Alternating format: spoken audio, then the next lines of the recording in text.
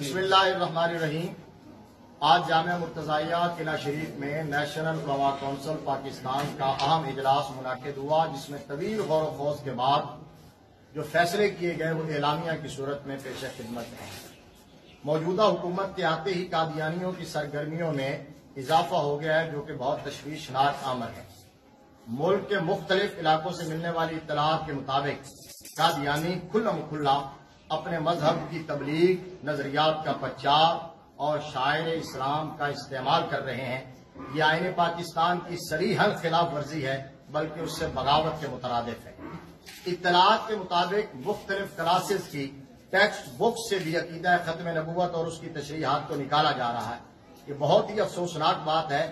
ہم اس حکومتی جسارت کی شدید الفاظ میں مذمت کرتے ہیں اور مرزائیوں کی سرگرمیوں کی ہر سطح پر مزاحمت کا اعلان کرتے ہیں۔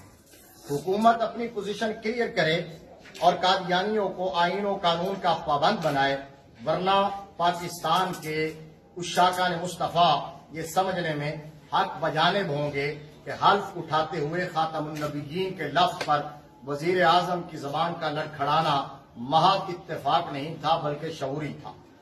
خان صاحب ہمیشہ ریاست مدینہ کی بات کرتے ہیں۔ ہمارا مطالبہ ہے کہ اگر وہ اس میں سچے ہیں، تو فوری طور پر وطن عزیز میں نظام مصطفیٰ کے نفاذ کا اعلان کریں۔ انشاءاللہ العزیز، اس ملک اور قوم کے تمام مسائل حل ہو جائیں گے۔ نیز وزیر اعظم صاحب کو یہ بھی معلوم ہونا چاہیے کہ عقیدہ ختم نبوت اور اس کے تحفظ کے حوالے سے ریاست مدینہ کی پالیسی کیا تھی۔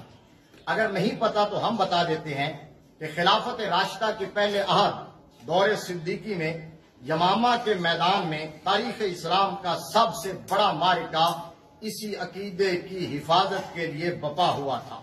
پھر پاکستان میں انیس سو تریپن کی تحریک ختم نبوت کے بارے میں شاید آپ نے پڑھا یا سنا ہوگا کہ زندہ دلان لاہور نے دس ہزار جانیں اپنے کریم آقا کے نام پر وار دی تھی۔ آج بھی ہم ہمارے بچے اور امت مسلمہ کا ہر ہر فرد یمامہ اور دہلی گیٹ لاہور کی تاریخ دہرانے کے لیے تیار ہے۔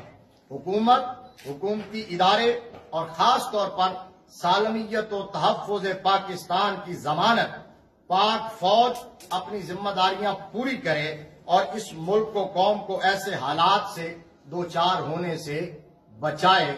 اللہ تبارک و تعالی ہم سب کا حامی و ناصر ہو۔ پاکستان زندہ باد پاک فوج آئندہ